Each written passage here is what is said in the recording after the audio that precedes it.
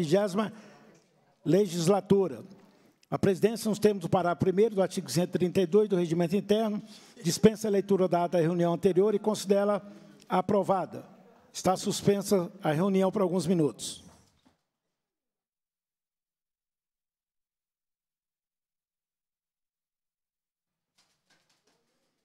Segunda parte da ordem do dia, primeira fase. Passa-se a primeira fase da ordem do dia, que compreende a discussão e a votação de pareceres sobre proposições sujeitas à apreciação em plenário.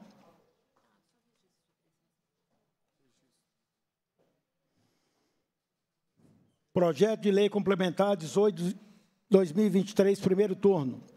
Dispõe sobre a transposição e a transferência de saldos financeiros resultantes de parcerias e convênios firmados com o Estado e saldos constantes dos fundos de saúde dos municípios, provenientes de repasses da Secretaria de Estado de Saúde e da outras providências. Relator, deputado João Magalhães. Indago ao relator se está em condições de emitir o parecer. Sim, senhor presidente. Com a palavra o deputado João Magalhães. Obrigado, senhor presidente. Parecer para o primeiro turno do projeto de lei complementar número 18 de 2023.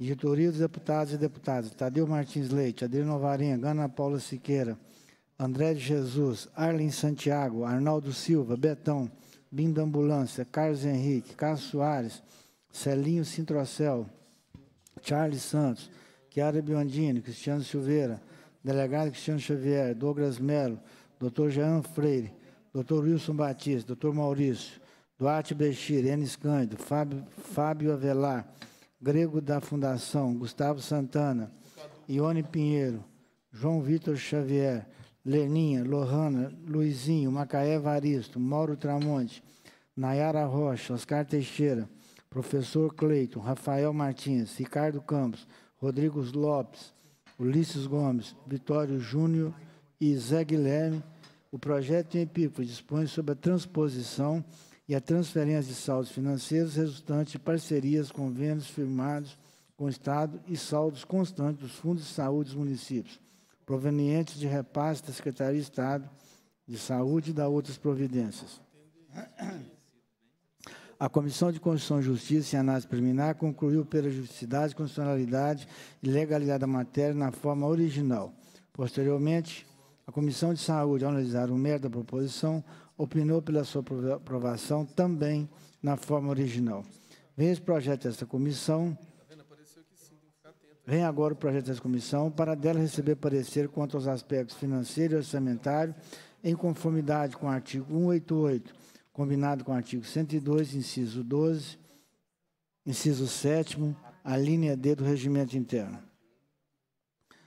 O projeto de lei epífica autoriza os municípios mineiros a, a transporem e transferirem até o final de 2023 eventuais saldos financeiros remanescentes de exercícios anteriores, resultantes de parcerias e convênios firmados com o Estado, bem como a transposição e a transferência dos saldos constantes de seus fundos de saúde provenientes de despesas da Secretaria de Estado de Saúde, SES.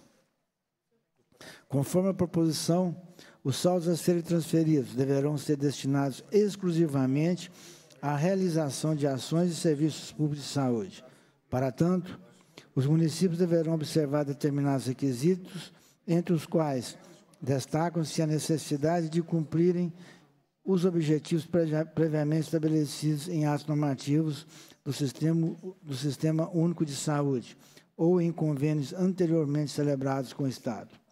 Por sua vez, o artigo 4 do projeto estabelece a necessidade de que os municípios comprovem por meio de seus respectivos relatórios anuais de gestão, a execução dos recursos eventualmente transportados ou trans, transpostos ou transferidos. Ao final, fica determinado que os valores de saldos financeiros transpostos ou transferidos não serão considerados parâmetros para os cálculos de futuros repasses financeiros por parte da Secretaria de Estado de Saúde. Segundo os autores, o projeto guarda similaridade com a Lei Complementar Federal número 197, de 6 de dezembro de 22.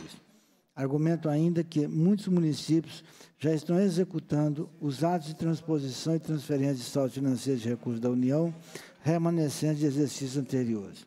No entanto, a maior parte dos recursos são estaduais de modo que é importante para os municípios que o Estado tenha uma norma similar à da União e, consequentemente, possam melhorar a saúde de toda a sua população.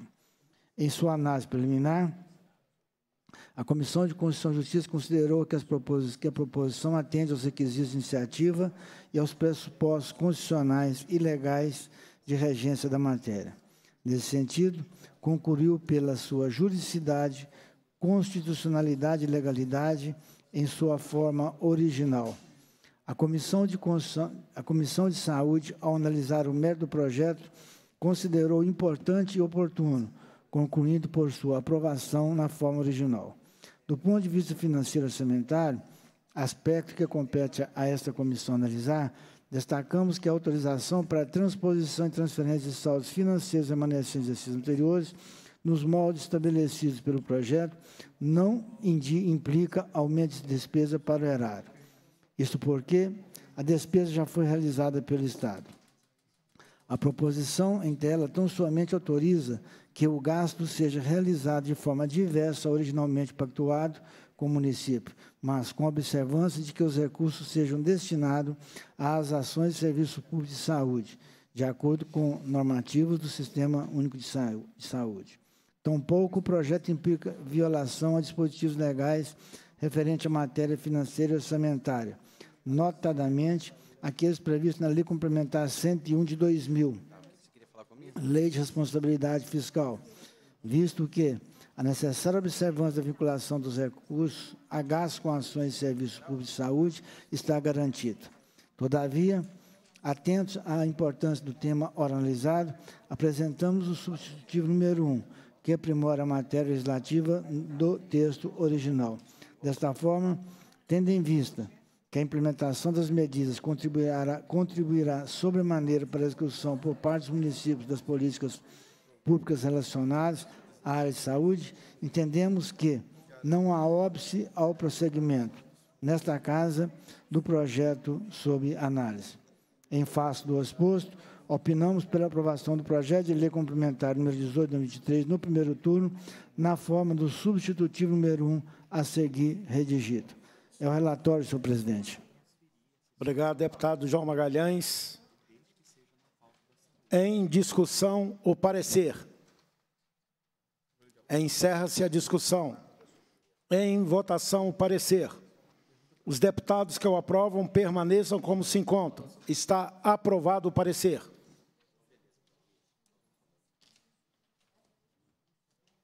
Cumprida a finalidade da reunião, a presidência agradece a presença dos parlamentares, convoca os membros para a próxima reunião ordinária, determina a lavratura da ata e encerra os trabalhos.